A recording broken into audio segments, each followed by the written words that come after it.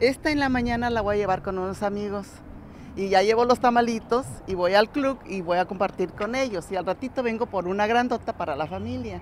Uf, eh, muy movido, cansados, pero muy satisfechos porque estamos envueltos en, la pasión que nos gusta. Eh, hacemos con mucho esmero y mucho cariño lo que es la tradición. Hoy las panaderías no dan abasto intentando suplir la demanda de las roscas, una tradición familiar del Día de Reyes. La rosca viene un niñito escondido, que significa Dios que lo escondieron para que no lo matara Herodes.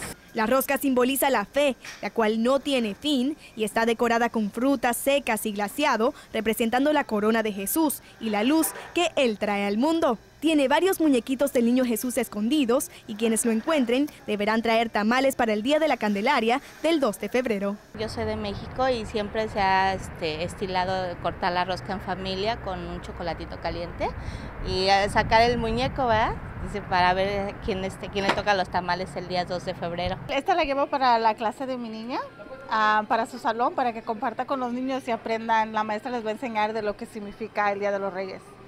Pues ya ven una tradición que perdura a través de los años y ahora a ver a quién les tocará encontrar al niño Jesús dentro de su rosca, pues serán estos mismos los que el 2 de febrero les tocará traer los tamales. Es todo mi informe hasta ahora desde San Fernando, Tayana Lachel, Noticias 62, tu ciudad, tu equipo.